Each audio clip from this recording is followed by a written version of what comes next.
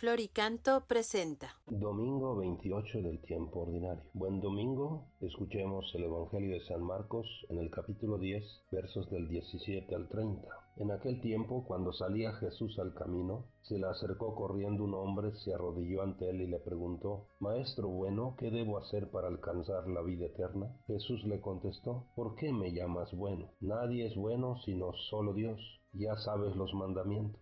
No matarás, no cometerás adulterio, no robarás, no levantarás falso testimonio, no cometerás fraudes, honrarás a tu padre y a tu madre. Entonces él le contestó, Maestro, todo eso lo he cumplido desde muy joven. Jesús lo miró con amor y le dijo, Solo una cosa te falta. Ve y vende lo que tienes, da el dinero a los pobres, y así tendrás un tesoro en los cielos. Después ven y sígueme. Pero al oír estas palabras el hombre se entristeció y se fue apesadumbrado porque tenía muchos bienes. Jesús mirando a su alrededor Dijo entonces a sus discípulos, qué difícil les va a ser a los ricos entrar en el reino de Dios. Los discípulos quedaron sorprendidos ante estas palabras, pero Jesús insistió, hijitos, qué difícil es para los que confían en las riquezas entrar en el reino de Dios. Más fácil le es a un camello pasar por el ojo de una aguja que a un rico entrar en el reino de Dios. Ellos se asombraron todavía más y comentaban entre sí, entonces, ¿quién puede salvarse? Jesús mirándolos fijamente les dijo, es imposible para los hombres, mas no para Dios. Para Dios todo es posible. Entonces Pedro le dijo a Jesús, Señor, ya ves que nosotros lo hemos dejado todo para seguirte. Jesús le respondió, yo les aseguro, nadie que haya dejado casa, o hermanos o hermanas, o padre o madre, o hijos o tierras por mí y por el Evangelio, dejará de recibir en esta vida el ciento por uno en casas, hermanos, hermanas, madres, hijos y tierras, junto con persecuciones, y en el otro mundo la vida eterna. Palabra del Señor. Mis queridos hermanos, el Evangelio que leemos hoy nos hace ver de manera aún más paradójica cómo la verdadera riqueza consiste en saber renunciar a ella y en tener el corazón despegado de los bienes de este mundo. Por esto somos invitados por el Señor Jesús a tener un corazón libre de todo apego, para que podamos seguirlo y darle sentido eterno a todo lo que hacemos, darle sentido eterno a lo terreno. Hoy tenemos, por decirlo así, el mensaje en tres líneas. Primero, el relato de la llamada al rico. Segundo, la enseñanza a los discípulos sobre los peligros de las riquezas.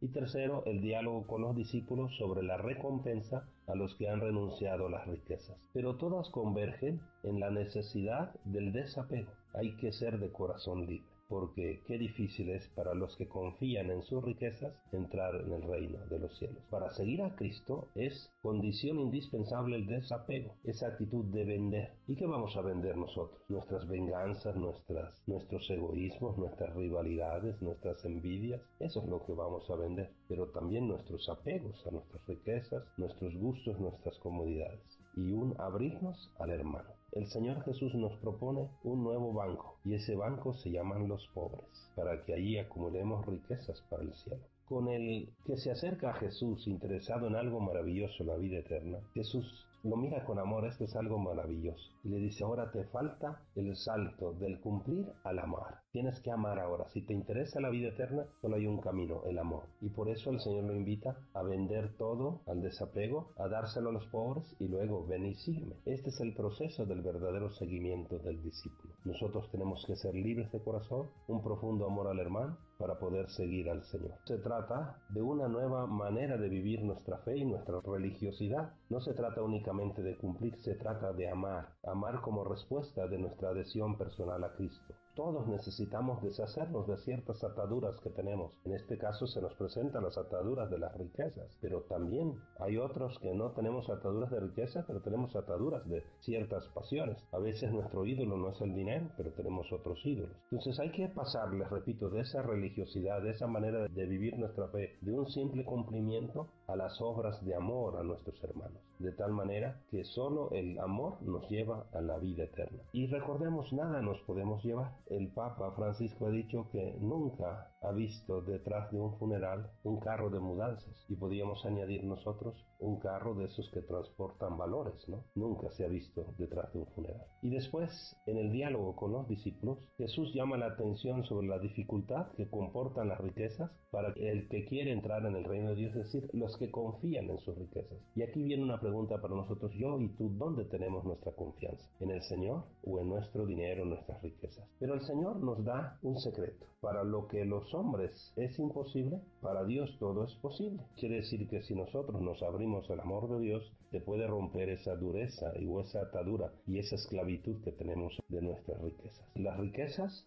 se convierten también en oportunidad cuando son bien usadas para conquistar la vida eterna. Jesús no desautoriza el dinero ni afirma que las riquezas siempre son injustas, pero sí dice una y otra vez que son peligrosas y que pueden llegar a ser un obstáculo para entrar en el reino de Dios. El dinero es bueno y es necesario para la vida, pero puede pegarse al corazón y hacerlo insensible a valores superiores y al amor al hermano. El que está lleno de sí mismo no siente necesidad de abrirse ni a Dios ni a las necesidades de sus hermanos. Y eso no nos lleva a la vida eterna, nos lleva a otro lado. La mejor inversión es usar el dinero según el plan de Dios. Da el dinero a los pobres y así tendrás un tesoro en los cielos. Nadie puede servir a dos amos, a Dios y al dinero. Y los pobres son el camino cierto para el cielo. Quien ama a los pobres ya se ganó el cielo. Mis queridos hermanos, Jesús nos mira a ti y a mí con amor y nos dice, solo una cosa te falta, ama, ama siempre. Y si tienes, usa bien lo que Dios nos ha dado. Si tienes mucho es para que ames mucho. Y si tienes pocos para que ames mucho con ese poco que tienes. Una cosa nos faltará cada día. Despertar con esa actitud decidida de amar un poquito mejor a nuestros hermanos. Preguntémonos qué tengo que vender hoy para que tú, Señor, seas mi riqueza. Recordemos que el compartir con los pobres es el camino para la vida eterna. ¿Dónde o en quién tengo mi confianza? ¿Qué he dejado por Jesús y su Evangelio? Mis hermanos, la recompensa es cierta. Para quien ama, tendrá cien veces más y la vida eterna. Que Dios les bendiga, bonita convivencia familiar. Un abrazo y la bendición de Dios para todos.